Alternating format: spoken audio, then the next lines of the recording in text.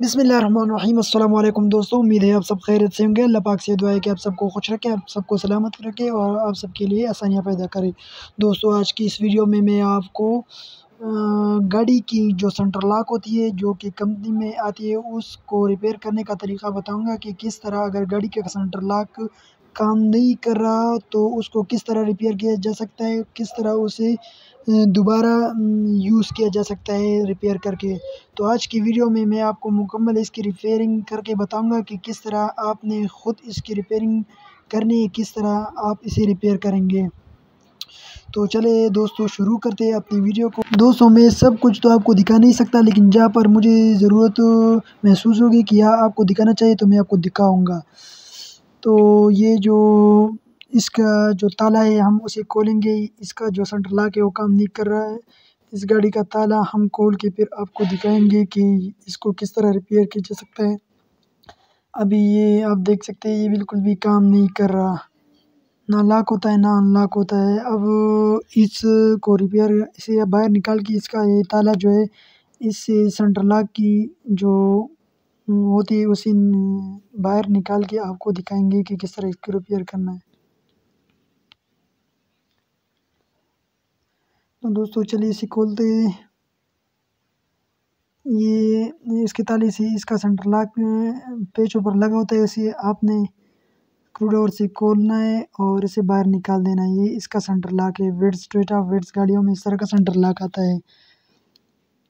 اب آپ نے اس سنٹر لاک کو چاروں سائڈ سے یہ جو آپ کو دکھائی دے رہا ہے فیش کس کی مدد سے یا پھر جو آپ کو سی لگے اسکرو ڈرائیور کسی بھی چیز کی مدد سے آپ نے اس کو چاروں سائڈ سے اس کو کول دینا ہے۔ ابھی میں آپ کو یہ کول کی دکھا دیتا ہوں، جس جیسے میں نے اس طرح اس کو کھول دیا۔ تو اب اس میں یہ چھوٹا سا موٹر لگا ہوتا ہے، یہ کام کرنا چھوڑ دیتا ہے تو اس کی وجہ سے یہ سنٹر لاک پھر کام نہیں کرتا۔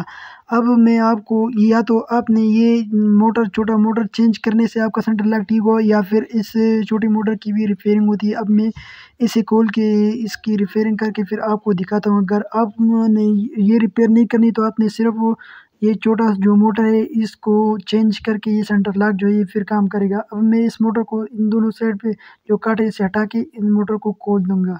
جیسے میں نے یہ موٹر کھولے آپ اندر دیکھ سکتے ہیں اس میں کتنا گند، گندگی جمع ہے۔ اس کا جو کاربن ہے، وہ بالکل جو ہے اس میں گندگی ہے۔ تو اسے میں صاف کر کے انشاءاللہ پھر اس کی صفائی وفائی کر کے لگا دوں گا تو یہ ٹھیک ہوگا۔ جس طرح میں نے اس کو کاربوریٹر کلینر کی مدد سے صاف کیا۔ آپ نے بھی اس طرح صاف کرنا ہے۔ یہ اور موٹر میں آپ کو دکھا دیتا ہوں۔ یہ جو موٹر ہے، یہ بھی، یہ تو تھوڑا صاف ہے، لیکن پھر بھی اس پر گندگی آپ دیکھ سکتے ہیں۔ اس کو اسے کاربوریٹر کلینر کے ساتھ کلین کرنا ہے۔ اور جب یہ کلین ہو جائے، اس کے بعد اس کی تھوڑی جو صفائی مفائی کرنے کے بعد اس کو دوبارہ بند کر دے اور یہ جو سنٹر لاک آپ کو دکھائی دے رہا ہے، جس طرح آپ نے اس کو کھولا ہے، اس طرح آپ نے اس کو دوبارہ فکس کرنا ہے۔ تو دوستو، یہ عمل کرنے کے بعد آپ نے سنٹر لاک جو ہے، اس پر اسے واپس فکس کرنا ہے۔ اور ایل پی یا کسی دوسری چیز کی وجہ سے اس جو جگہ آپ نے کھولی ہے، اس کو فکس کریں گے۔ تو انشاءاللہ اس کو لگانے کے بعد آپ کا جو سنٹر لاک ہے، وہ بالکل صحیح ہوگا، بالکل صحیح کام کرے گا۔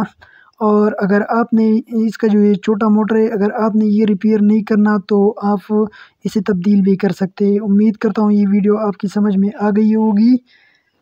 بس جسی طرح آپ نے اس کو کھولا ہے، پھر دوبارہ اس کو بند کر دے اور انشاءاللہ یہ سنٹر لاک بالکل کام کرے گی، کیونکہ ہم نے کئی بار ایسا کیا ہے۔ اس لیے آگے ویڈیو بنانے کی ضرورت نہیں، تو اپنے دعاؤں میں یاد رکھیں۔ اور اب ابھی تک جن دوستوں نے چینل کو سبسکرائب نہیں کیا، ان سے گزارش ہے کہ چینل کو سبسکرائب کرے اور ساتھ میں بل کے آئیکن کو دبائیں تاکہ میری ہر نئی آنے والی ویڈیو کی نوٹیفیکیشن آپ کو ملتی رہے۔